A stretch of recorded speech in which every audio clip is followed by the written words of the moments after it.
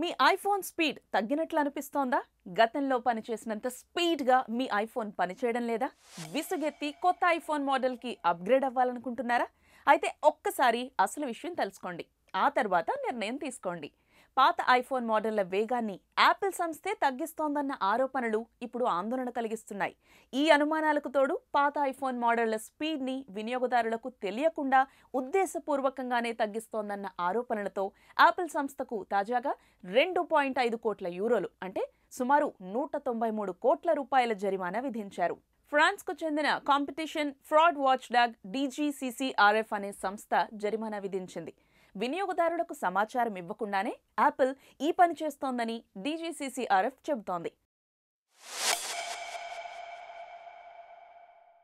కొన్ని పాత మోడల్ ఐఫోన్ల వేగాన్ని తగ్గించినట్లు రెండు వేల పదిహేడులో యాపిల్ సంస్థ అంగీకరించింది. అయితే దీని వెనుక సదుద్దేశమే ఉందన్నది యాపిల్ వాదన.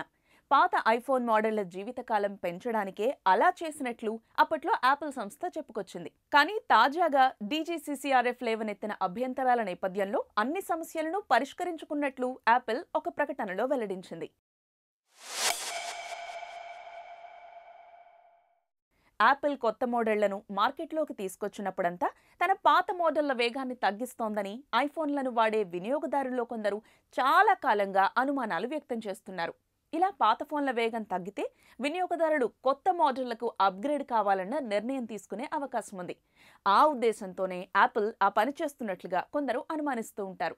అయితే యాపిల్ సంస్థ రెండు వేల పదిహేడులో దీనిపై వివరణ ఇస్తూ పాత మోడళ్ళ వేగాన్ని తగ్గించిన మాట వాస్తవమే అయినప్పటికీ వాటిని అప్గ్రేడ్ చేసుకోవాలన్న ఉద్దేశంతో కాదని తెలిపింది.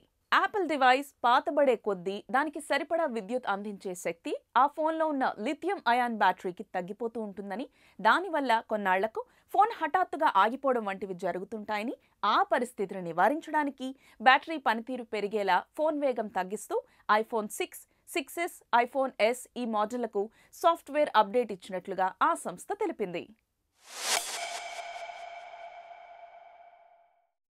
IOS ten point two point one eleven point two అప్డేట్లను install చేసుకుంటే ఐఫోన్ వేగం తగ్గుతుందన్న సంగతిని యాపిల్ సంస్థ వినియోగదారులకు చెప్పలేదని డీజీసీసీఆర్ఎఫ్ అంటోంది.